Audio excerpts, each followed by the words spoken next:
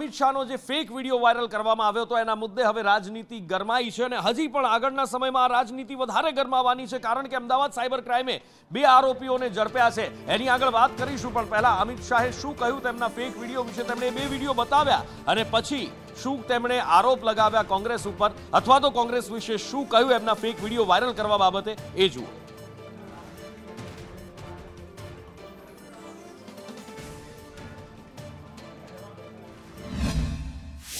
मित्रों, उनकी हताशा, निराशा इस स्तर पर पहुँच गई है कि उन्होंने मेरा और कुछ भाजपा नेताओं का फेक वीडियो बनाकर सबके बीच में सार्वजनिक की।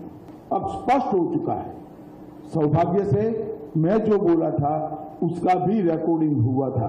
तो वो रिकॉर्ड हमने सबके सामने रखा दूध का दूध पानी का पानी हो गया એટલે દૂધનું દૂધ, પાણીનું પાણી થઈ ગયું. એ બંને વીડિયો અમિત શાહે બતાવ્યા જે સ્ક્રીન ઉપર દેખાય છે. એમાં રિયલ વિડીયોમાં એ શું કહી રહ્યા છે અને એને તોડી મરોડીને એમના ભાષણને કેવી રીતે ફેક વીડિયો બનાવવામાં આવ્યો એની વાત થઈ રહી છે અને આ બાબતે અમદાવાદ સાયબર ક્રાઇમની અંદર ફરિયાદ નોંધાઈ હતી. અમદાવાદ સાયબર ક્રાઇમે તપાસ શરૂ કરી હતી અને અમદાવાદ સાયબર ક્રાઇમ એક ફેસબુક એકાઉન્ટ સુધી પહોંચી. ફેસબુક એકાઉન્ટ સુધી પહોંચ્યા બાદ તપાસ શરૂ કરી અને ત્યારબાદ બે આરોપીઓ સુધી પહોંચી કે જેમણે આ વીડિયો વાયરલ કર્યો હતો. અમદાવાદ સાયબર ક્રાઇમે હમણાં જ પ્રેસ કોન્ફરન્સ કરી અને આખી એ માહિતી આપી હતી. ડીસીપી લવિના સિંહ દ્વારા આખી માહિતી આપવામાં આવી અને તેમના દ્વારા કહેવામાં આવ્યું, જે બંને વ્યક્તિઓ ઝડપાયા છે, એમાંથી બંને લોકો રાજકીય પક્ષો સાથે જોડાયેલા છે અને એમાંથી એક વ્યક્તિ છે એ કોંગ્રેસ નેતા નરેન્દ્ર રાવત અમારી સાથે જોડાયા છે. નરેન્દ્રભાઈ, સ્વાગત છે સંદેશ ન્યૂઝમાં. જિગ્નેશ મેવાણીના પીએ એમની ઉપર આરોપ લાગે, એમની ધરપકડ થાય કે કેન્દ્રીય ગૃહમંત્રીનો ફેક વીડિયો છે અથવા તોડી મરોડીને રજૂ કરાયેલો જે વાતચીત છે, એને વાયરલ કરે છે, સાયબર ક્રાઇમ એને ઝડપી પાડે છે.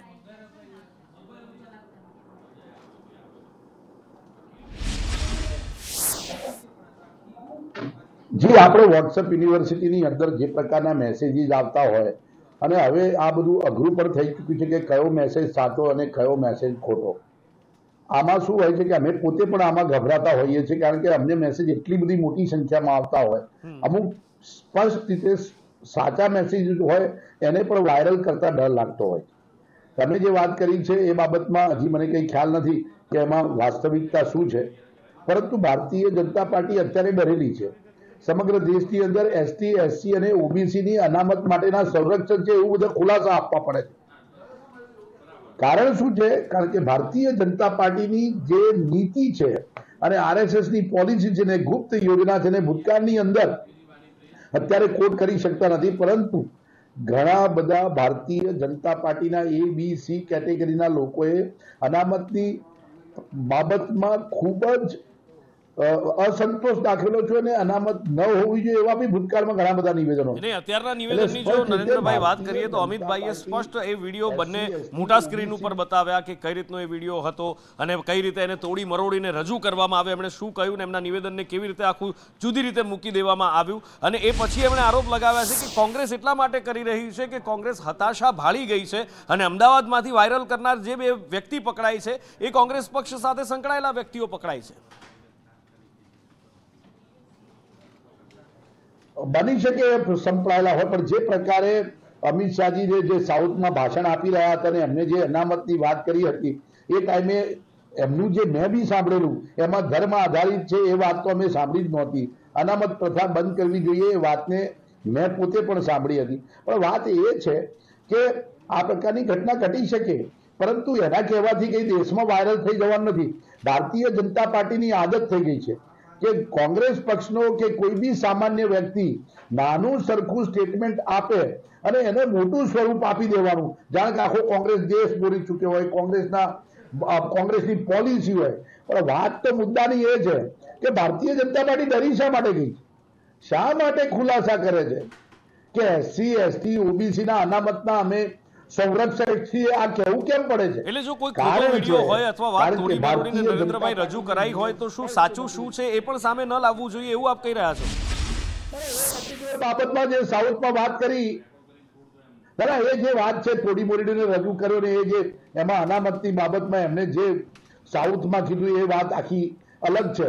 અને એની અંદર કઈ થોડી મોડીને એટલું મોટું સ્વરૂપ નથી આપવામાં આવ્યું. પરંતુ મોદીજી બી બોલે છે નહીં અમે સ્પષ્ટ કહીએ છીએ. ખડગેજી બી કહે છે રાહુલજી બી કહે છે, અમે બધા જ વાત કરીએ છીએ કે જ્યારે ભારતીય જનતા પાર્ટીની સરકાર આવશે તો ભવિષ્યની અંદર એમની નીતિ એ પ્રકારની છે કે એ સ્પષ્ટ રીતે ભવિષ્યની અંદર આ પ્રકારનું પગલું ભરશે. એ ભય તો અમને જ છે. એ ભય સ્પષ્ટ છે. અત્યારે ચારસો કે પારની વાત કરીને એસસી, એસટી ઓબીસી ની અનામત પર આવી ગયા છે. બંધારણને ભારતીય જનતા પાર્ટીના નેતાઓએ બાળેલું છે. આ જ બંધારણને બાળેલું છે એ જ બંધારણની અંદર એસટી, એસસી, ઓબીસી અને તમામને આપણે માન્યતા રિઝર્વેશનમાં આપેલી છે. અનામત છે અમિત શાહ ખાલી એક આ એક વિડીયોમાં તોડી મરોડીને કરી દીધો એટલે કે જાણે કે મેં સાચું બોલું છું અને આ વિડીયોના આધારે સમગ્ર દેશની અંદર વાત ફેલાઈ ગઈ એવું નથી. અમે કોંગ્રેસના નેતાઓ કહીએ છીએ કે ભારતીય જનતા પાર્ટી સ્પષ્ટ રીતે વાત કરે છે. પરંતુ અમે સ્પષ્ટ ભય છે કે ભવિષ્યની અંદર બંધારણની સાથે સાથે એસસી એસસી ને ઓબીસી ની વાત સ્પષ્ટ રીતે એ લોકો અનામત રાખશે કે નહીં એ મોટો ભય છે. બિલકુલ એટલે ભારતીય જનતા પાર્ટી તો જે મારો મૂળ મુદ્દો જે હતો ભારતીય જનતા પાર્ટી એવું કહી રહી હતી કે આજે અમે અનામત નરેન્દ્રભાઈ સાંભળો તો ખરા. નરેન્દ્રભાઈ કે અનામત ખતમ કરવા અમે નથી માંગતા એ મુદ્દા પર આગળ આવીએ. પણ મારો મૂળ સવાલ એ હતો કે જિગ્નેશ મેવાણી, ધારાસભ્ય જિગ્નેશ મેવાણીના પીએ જો આ બાબતે શંકાના ઘેરામાં આવે, એમની ધરપકડ થાય અને એ પણ ચૂંટણી ટાઈમે અને એ પણ અમિત શાહના નિવેદનને લઈને, તો કોંગ્રેસ પાર્ટી કંઈક તો પોતાનો મત, પોતાનો કંઈક તો સ્ટેન્ડ મૂકશે ને એ બાબતે? એ જાણવું છે મારે. ના ના સ્ટેન્ડમાં અત્યારે તો વોટ્સઅપ યુનિવર્સિટીમાં એટલા બધા નજીક આપણે આવી ગયા છીએ કે અત્યારે તો હું મારી ફેસબુક ઉપર કોઈનું બી શેરિંગ થતું હોય તો બી હું રોકી શકતો નથી. બની શકે કે જિગ્નેશભાઈના પીએ હોઈ શકે, પરંતુ કઈ એ પીએ લખી કાઢ્યું એટલે ભારતનું સ્ટેટમેન્ટ થઈ ગયું અને આ દેશના માટે સૌથી મોટી અગત્યની વાત થઈ ગઈ. અમિત શાહ આટલી નાની બાબતોમાં ધ્યાન આપે છે મને સમજણ નથી પડતી. આટલો મોટો વ્યક્તિ એક જિગ્નેશ મેવાણીના પીએ થી ડરવાની જરૂર શું છે? આવું તો WhatsApp university Bharatiya Janata party એટલું બધું ભરે છે કે નફરત થઈ જાય નફરતના બીજ રોપાય. અને ભારતીય જનતા પાર્ટીના નેતાઓના સ્ટેટમેન્ટ એમની ભૂતકાળ બંધારણ માર્યું છે તો સ્પષ્ટ છે. તો એ બધી વાતો તો આના કરતા કશું નથી બની શકે કે ફેક વિડીયોને પેલો સમજદારીના ભાગરૂપે કે ગેરસમજ થઈ હોય. અને વીડિયો કર્યો હોય કે આ અનામત દૂર કરવા માંગે છે. બિલકુલ, બિલકુલ, સામાન્ય કાન પર બિલકુલ નરેન્દ્રભાઈ સંદેશ ન્યૂઝ સાથે આપ જોડાયા. એ બદલ આપનો ખૂબ ખૂબ આભાર. Thank you so much